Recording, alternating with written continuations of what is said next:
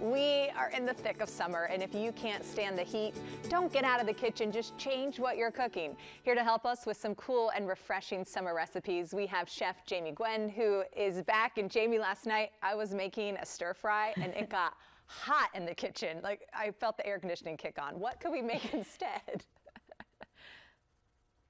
Ellen, I love it. And I'm glad to be back with you. Yeah, we're going to keep it cool this summer. I have some really good eats to share if you're ready. So, this is exciting. You heard it here first, new to the food scene, first of its kind. Joyba is a ready to drink bubble tea you keep in your fridge at home that offers a refreshing, unique infusion of fruit tea and popping boba. Enjoy it anytime, anywhere. Gotta love that. It comes in four delicious flavors cherry hibiscus strawberry lemonade green tea, raspberry dragon fruit black tea, and mango passion fruit green tea. It's a great alternative to sodas, juices, and energy drinks. And I especially like that Joyba is made without artificial flavors or sweeteners. It gives you that little burst of joy in every sip on a hot summer day, and I'm excited about it. Now, to keep it cool, Ellen, because your kitchen got all hot up in there, uh, this is my go to summer recipe antipasto skewer are a really quick to prep dish that it delivers huge flavor. It simply combine meats, cheeses, and fresh basil with delicious Pearls black ripe olives. You can get creative with the combinations, but Pearls olives really balances out each bite with their rich, buttery flavor.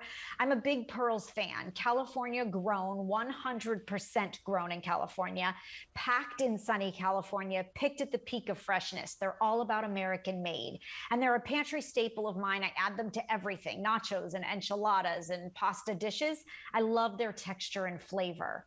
Now, here's another pantry staple because the uh, feta fanship continues. I am an Athenos feta fan. This is a really easy feta pasta salad for summer that I love. You get that creamy, tangy taste from the feta, but I put it on everything. I put it on my tacos for Taco Tuesday. I love it on pizza. It's brilliant on a burger.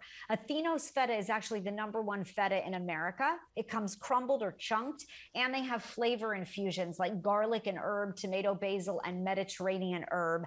And my whole family loves it. And then for an easy, delicious way to beat the heat, this is how you stay cool this summer. You're going to reach for a GoodPop organic freezer pop. This is a better for you take on the classic popsicle that we all grew up with.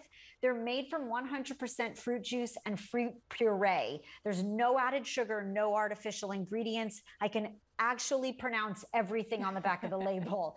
And I like their flavors the cherry limeade, the fruit punch, and the Concord grape. My son loves them even more. Here's the coolest part, Ellen. This bag is shelf stable, so it doesn't take up real mm. estate in your freezer until you plan that pool party.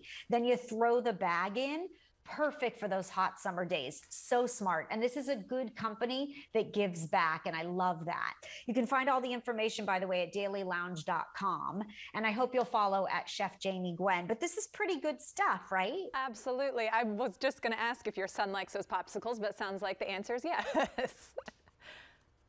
Uh, yes, my son loves these popsicles actually. And I'll tell you that even better for you and me, um, there is a fudge vanilla square Ooh. made with oat milk, made by Good Pops, that is out of this world. And I will very proudly tell you, I have been known to sit down to more than one of those squares. So delicious. those get hidden in the back, Jamie, for us, and the kids can have the popsicle. That, that's. Thank That's you so right. much. Happy summer to you. Thank you for always having me. I appreciate it. And again, for all of those recipes, as Jamie mentioned, and more, you can head to dailylounge.com.